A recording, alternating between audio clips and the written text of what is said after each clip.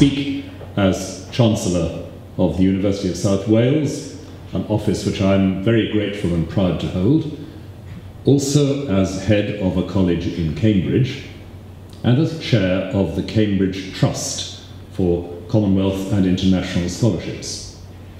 So these issues about access, about modes of learning, diversity, about the whole future of higher education globally are issues that are constantly in my mind and my heart.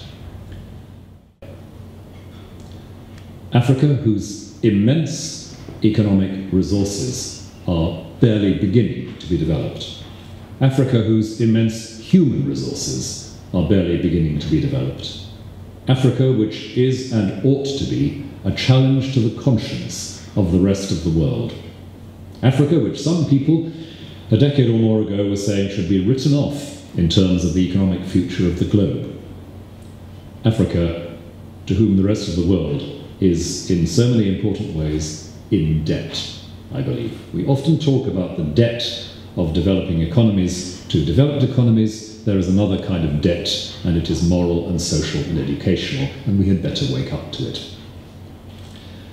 Africa's needs don't really need to be underscored at this point. What we see in so many contexts in the African continent is a deficit in a number of crucial areas. A deficit in good governance, a deficit in active and independent civil society, a deficit in business initiative, and a deficit in financial transparency. Church-based development organisation, and a great deal of what we now do in contexts like Kenya is connected with disseminating information to farmers, for example, through digital technology. The cell phone, which will tell the local farmer when the best times are to sow, at a time when climate prediction has become so much more uncertain. So we actually have a ready audience there, a ready public, familiar with some of the technology that's needed. We're looking towards the building of sustainable societies, and that means, of course, that the education we seek to share in the African context is going to involve quite a lot of those things which do build sustainability. Not just business skills, but economics and law. I think it's extremely important to underline the need for a legally literate society.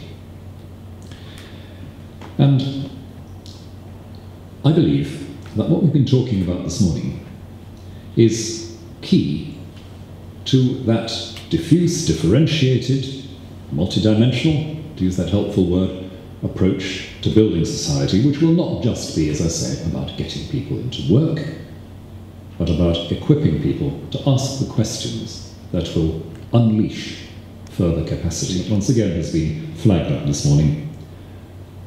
How do we make this a genuinely interactive, two-way process? How do we think about a program which will not just be about, as you might say, unloading the benefits of Western culture onto poor benighted foreigners? Because that colonial model is still very pervasive. We need to think about how the process of engaging students from other cultures and other backgrounds becomes an enrichment for the institutions we belong to. We need to make sure that it's not a one-way track because that too is part of the building of a sustainable global society. If we're thinking about building towards developmental goals in Africa, towards good governance and vigorous civil society and business initiative and financial transparency, we are thinking about something that has global implications and interlocks with what we would hope for our own societies, our own civic future. So that's a very rapid and I'm afraid rather superficial overview of the situation I think we're in.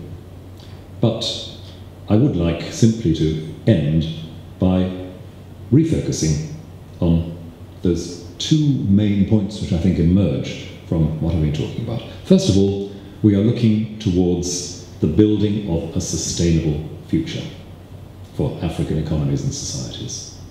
And secondly, we're looking for something that is not just an us and them relation, not just a do on bar relation, but something which contributes to a vigorous global society and which is capable of making the best possible use of the most important resources we have, which are our students.